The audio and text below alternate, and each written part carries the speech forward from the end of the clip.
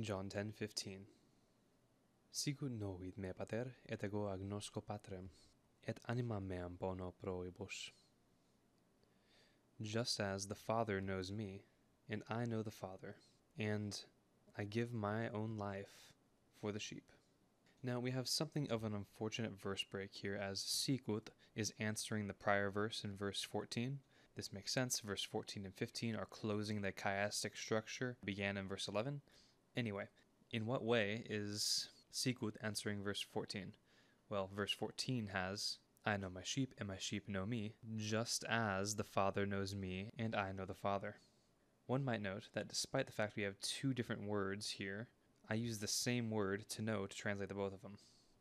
The underlying Greek for these words is the same, and they are themselves synonyms, though agnosco is a little bit more along the lines of to recognize something or someone. This does raise the question, though. Why would the translator use two different words to translate the same one Greek word? There are several reasons why a translator might do this. It may be stylistic reasons, it may be theological reasons, it may be semantic reasons. Realistically, it's probably a combination of those three. At any rate, in this case, the translator saw fit to bring over the Greek word into two separate words in this case. As for the latter portion of the verse, we have et animam meam pono pro ovibus. Now, as I said earlier, verse 14 and 15 are closing up the chiastic structure began in verse 11.